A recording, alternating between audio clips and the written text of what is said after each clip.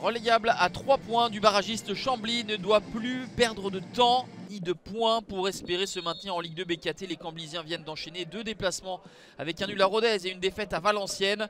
Et c'est à domicile cette fois que les hommes de Bono Luzzi vont tenter de capitaliser face à Amiens, dixième.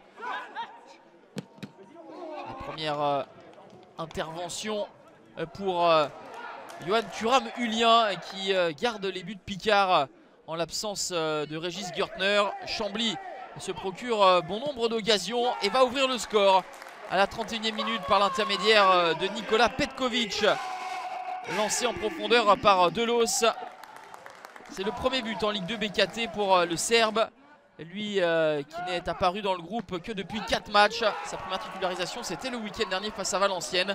Et Chambly va doubler la mise dans les arrêts de jeu du Premier acte, le corner de Soubervi.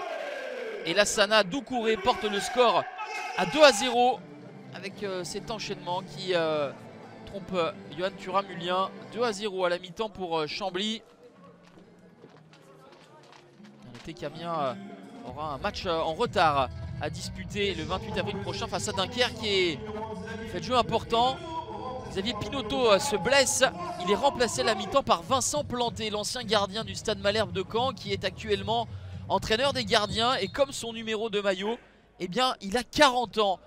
les absences de, Leroy et de Pondémé obligent l'entraîneur des gardiens à disputer euh, cette deuxième période.